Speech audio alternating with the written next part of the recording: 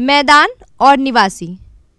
उत्तर के विशाल मैदान में पश्चिमी उत्तर प्रदेश के जनजीवन को समझने के लिए बुलंदशहर के एक गाँव के लोगों का रहन सहन वहाँ की बसाहट, व्यवसाय और आर्थिक विकास का अपने गाँव से तुलनात्मक अध्ययन करने का प्रयास करते हैं।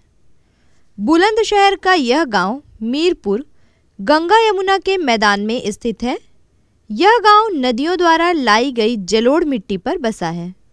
यहाँ के 75 प्रतिशत लोग कृषि पर आश्रित हैं। मैदानों की भौगोलिक परिस्थितियाँ सघन कृषि के लिए अनुकूल हैं। रबी और खरीफ की भरपूर फ़सलें उगाई जाती हैं। कृषि के साथ साथ यहाँ के लोग पशुपालन भी करते हैं।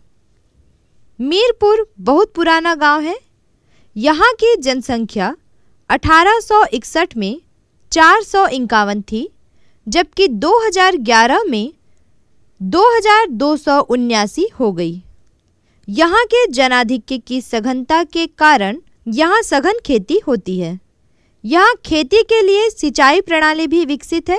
मैदानी भाग में सिंचाई की आधुनिक प्रणाली विकसित है, जबकि पठारी क्षेत्रों में सिंचाई की सुविधा कम विकसित है। मीरपुर गाँव का पूरा कृषि भूभाग सिंचाई सुविधाओं से भरा है। इस गाँव में लघु किसान की संख्या अधिक है, भूमिहीन मजदूर भी अधिक हैं। रोज़गार की कमी के कारण से कम मजदूरी पर भी खेतों में काम करने के लिए तैयार होते हैं। मीरपुर गाँव में डेयरी एवं अन्य रोज़गार। मीरपुर के कई परिवार का सामान्य व्यवसाय डेयरी है। अपने यहाँ के दूध और दूध से बने उत्पाद को नज़दीकी शहर या कस्बों में बेचना इनका प्रमुख उद्देश्य होता है।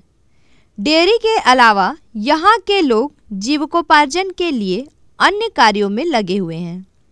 छोटे छोटे दुकानदार शहरों से सामान लाकर यहाँ दुकान लगाकर अपना व्यवसाय करते हैं। सामान्यतः इस प्रकार के कार्यों में अन्य क्षेत्र के लोग भी लगे हुए हैं। यातायात के साधनों से यह गाँव बुलंदशहर से जुड़ा हुआ है।